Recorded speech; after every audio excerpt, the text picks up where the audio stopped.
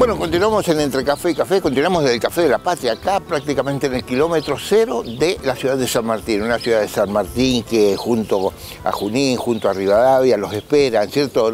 Realmente en muchas eh, ocasiones lo decimos y somos reiterativos, eh, somos buenos anfitriones, tenemos muchos lugares para ver y visitar acá en la zona este. Estamos prácticamente un paso de la ciudad, tenemos una autopista, o sea que usted no puede dejar de venir.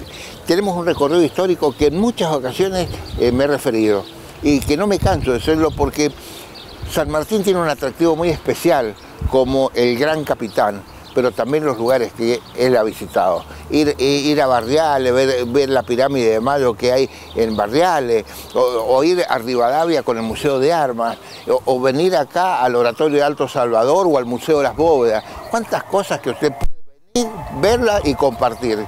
Como en muchas ocasiones hemos dicho, que a veces por desconocimiento no lo hacemos, pero qué lindo que sería de que se acerque porque es también reconocer un poco la historia de nuestro país, que es rica y es realmente un ejemplo en muchos, pero en muchos casos. Un ejemplo también es el trabajo que está realizando Ariel Ortiz con su equipo, porque cubrir 10, 10 mundiales, no sé si... Eh, si es un récord nacional, pero debe ser uno de los pocos, de los pocos periodistas que ha cubierto 10 mundiales seguidos de hockey. Eh, mucha gente va, Ariel. No, no, acá desde Mendoza no, no, no, realmente no, no, le ha costado mucho. Y lo que pasa es que, eh, bueno, no es sencillo. Los mundiales de hockey sobre patines se juegan cada dos, cada dos años, que hay que, de acuerdo a la reglamentación que hay. Eh, generalmente van a distintos continentes, una vez se hace en Europa, otra vez se hace en América.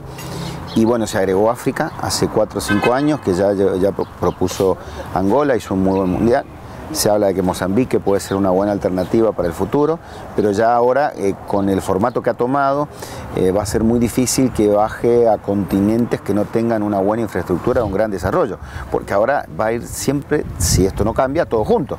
Entonces hay que tener infraestructura para todo, no solo para un estadio para jugar hockey sobre patines. Eh, es lo que yo te estaba por, decir, ¿no? nos tenemos que, te iba a decir yo, nos tenemos que despedir en Argentina de ver un mundial, porque hemos compartido un mundial acá en San Juan. Claro, se han jugado como cuatro ya en San Juan. Eh, en el 2011, en el 2011 se jugó uno que lo ganó España.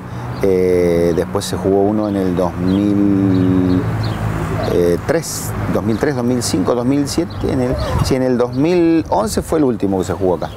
Eh, pero se han jugado varios mundiales aquí en, San Juan. En Argentina salió campeón mundial también acá. ¿En esta infraestructura nueva? Y claro, hay que tener eh, infraestructura para contener a todos los demás deportes que van sobre patines, pues si no, no vamos, no vamos a tener la chance. Y, una infraestructura también para recibir mil periodistas. Claro. Porque mil periodistas hay que, hay que alojarlos. Y no, mira, nosotros vamos a una ciudad que se llama Nanjing, es una ciudad universitaria con algo de industria. ¿Todo se hace ahí? Todo se hace en la misma ciudad, pero es una ciudad que tiene 8 millones de habitantes. Eh, está 300... Es una ciudad prácticamente no nombrada. No, no, no, es una gran ciudad, no es muy conocida, es una ciudad que está eh, desde el Océano Pacífico hacia adentro, digamos, a unos 450 kilómetros de Shanghái que es la ciudad más importante que tiene China ahí en ese lugar. Eh, y es una ciudad que se caracteriza sobre todo por, porque es un centro universitario importante del país, eh, que tiene, y bueno, que tiene, eh, se hizo conocido hace tres años, en el 2013, sobre todo porque se hicieron los Juegos Olímpicos de la Juventud. en el 2000, sí, en el 2015, hace tres años, apenas tres años se hicieron los Juegos Olímpicos de la Juventud, que ahora vienen en el 2019 a la Argentina. Los Juegos Olímpicos de la Juventud se van a hacer en Buenos Aires. Buenos Aires, sí. Lo están promocionando ya. Lo están promocionando, exactamente. Entonces, eh, bueno, esa es la infraestructura que se va a utilizar, pero bueno, tiene que ver todo con, con el poder económico que tiene ese país, que tiene capacidad de organización y de recursos para montar este tipo de eventos. Esto, esto es así, sin lugar a dudas. Así que bueno, vamos con una gran expectativa porque primero vas a un país donde eh, la cultura oriental es, digamos, completamente distinta a la nuestra, eh, costumbres eh, y demás absolutamente disímiles. Por otro lado, bueno, imposible conocer el manejo del idioma, el chino mandarín, que de a poco se va transformando en uno de los idiomas más hablados del mundo. Está bien que por la cantidad de pobladores que tienen, pero está avanzando muchísimo. Ya se enseña chino mandarín aquí en Mendoza. En el Valle de Uco, pues iría a estudiar chino mandarín o acá en, la intercultural, puedes aprender. Es que tiene un poder económico que claro que va, que va avanzando. Y bueno, y hoy los lazos, viste, comerciales están muy estrechos con, eh, con Mendoza, con la Argentina, eh, por el Pacífico se llega con un montón de productos. Bueno, a nadie escapa lo fácil que es llegar a un producto chino, a cualquier góndola de cualquier supermercado, a cualquier lugar, ¿no?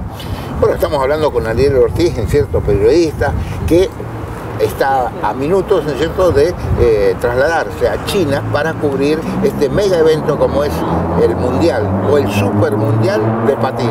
¿Por qué hablamos de mega evento o de Super Mundial? Porque por primera vez en la historia del el patín se hace un evento en que van a estar unidas, en cierta manera, en cierta manera, todos los deportes que tienen que ver con el patinaje eh, de distintas maneras, artística, carrera, eh, deporte, eh, senior como juveniles, y así.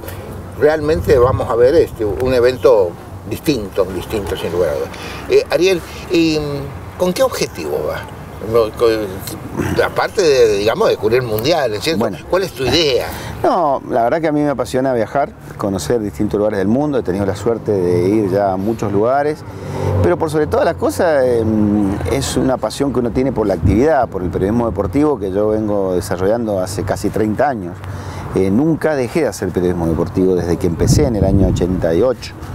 87, 88, 89, por allí que comenzamos con las distintas actividades, lo sigo desarrollando. Y después porque, em, eh, la verdad, eh, vi en algún momento, y te hablo de 15 años atrás, 20, que había un, nicho, había un vacío en la cobertura de este tipo de eventos y que interesa mucho a los mendocinos, pero muchísimo. Si nosotros no vamos, no tienen cómo informarse los mendocinos de cómo le va a la selección y a los jugadores que tienen la selección.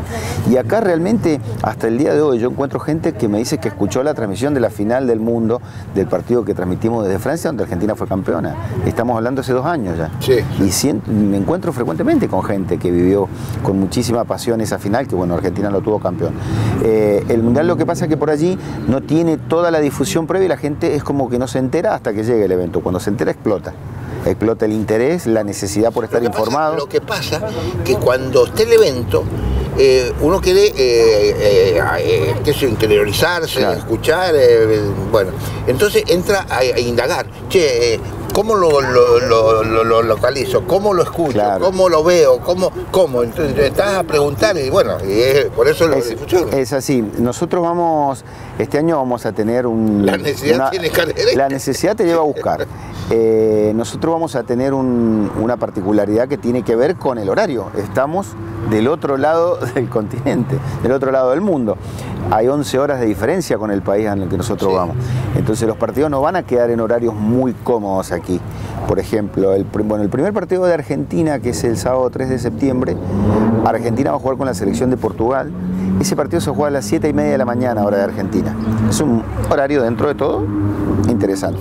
Pero el segundo partido frente a Portugal y el tercero frente a. El segundo frente a el primero frente a Portugal, te dije, el segundo frente eh, a Francia y el tercero, que es el día posterior, eh, domingo 3, lunes 4 y martes 5 son los días de competencia para Argentina, se van a jugar a las 3 y media de la mañana, hora de Argentina. 4 y media de la tarde, hora de, China. Entonces habrá que hacer un esfuerzo para escucharlo a través de, la radio eh, o de las aplicaciones o de todos los formatos que nosotros vamos a estar transmitiendo desde allá. Eh, Ariel, y, si quisiéramos escucharte, ¿cierto? Bueno, este, ¿cómo lo hacemos? Bueno, eh, este año el Campeonato Mundial, yo estoy desarrollando mis tareas de transmisiones con el equipo Platea Numerada en Cadena 3 Argentina bueno, es una de las radios más grandes de la Argentina que tiene su repetidora y su, radio, no una repetidora, sino su radio propia aquí en Mendoza. Eh, lo vamos a hacer a través de la señal de cadena 3 Mendoza, 105.1 la frecuencia. Además, eh, en cadena 3 San Juan, o sea, viene para las dos provincias la transmisión. Sí, sí. Eh, en, San Juan la frecuencia de cadena 3 es 88.5, pero además eh, tiene todo el soporte tecnológico a través de la web la web de cadena3.com es la web de una de las webs más visitadas de la República Argentina. Eh, tiene millones de visitas diarias y la aplicación eh, a través de la web se puede escuchar sin ningún problema. Hay un link que aparece inmediatamente que dice Platea Numerada Mundial de Hockey, lo van a poder escuchar en cada uno de los partidos. Y después eh, a través de la aplicación que se descarga en los teléfonos celulares, que bueno, de todas las radios que hay en la Argentina, la aplicación más descargada es la de Cadena 3, que se escucha con una calidad técnica realmente increíble, pues bueno, es una emisora que tiene un desarrollo tecnológico líder en la Argentina de, avanzada, digamos. Así que hay dos alternativas, la escuchas por aire o la escuchas por el soporte de la, web, cadena3.com, o la escuchas por la aplicación. Eh, y si estás en San Juan también la puedes escuchar. Bueno, eh, usted eh, ya estará notando o acordándose que a través de Cadena 3 usted puede escuchar los relatos de lo que va a ser la presentación de Argentina en el Mundial de Hockey.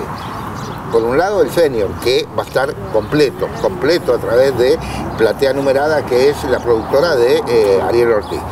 Pero por otro lado también la cobertura de las finales, decía, en un momento... Claro, semifinal y final, semifinal y, final, sub-20 y, las damas. Así es. Y de todos los otros deportes, Guillermo, hay muchos deportistas mendocinos. Hay una chica que patina, eh, que ha logrado clasificar al Mundial, el de Maipú, una chica muy destacada. Exacto, patinaje artístico. Todo lo que podamos cubrir en ese evento lo vamos a hacer. Vamos a ver cómo nos, movemos y cómo nos encontramos en el lugar y qué capacidad de cobertura tenemos en las distancias, porque estamos hablando de una ciudad de 8 millones de habitantes, más grande que Córdoba mucho más grande que Córdoba, por ejemplo. Y hay mucho decir, ¿eh? porque hay que, hay que recordar. Nos vamos a ir al último corte, ¿no? Estamos en Entre Café y Café, estamos en el Café de la Patria, kilómetro cero prácticamente de la ciudad de San Martín. Estamos charlando con Edir Ortiz, que va a cubrir dentro de muy poquitas eh, horas el Mundial de Hockey y todo lo que se va a hacer en este mega evento que comienza el domingo 27 en China.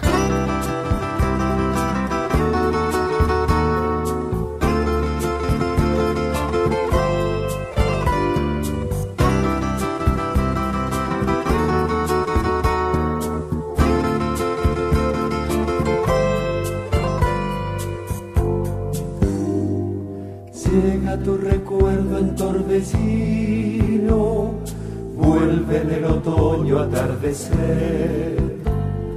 Miro la garúa y mientras miro, gira la cuchara de café.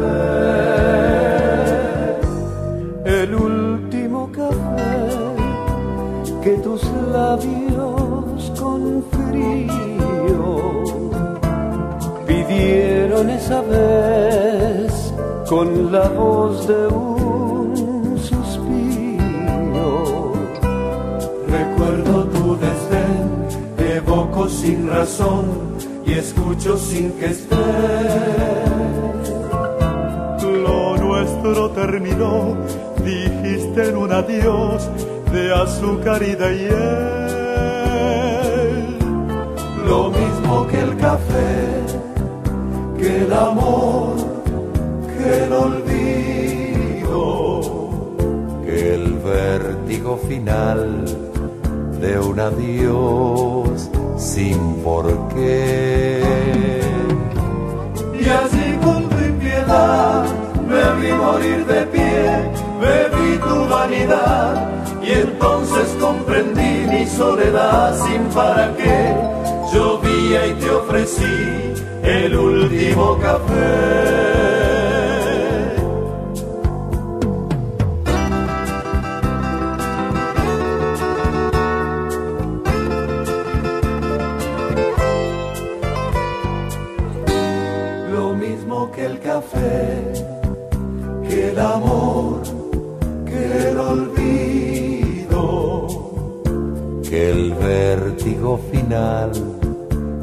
Adiós sin por qué.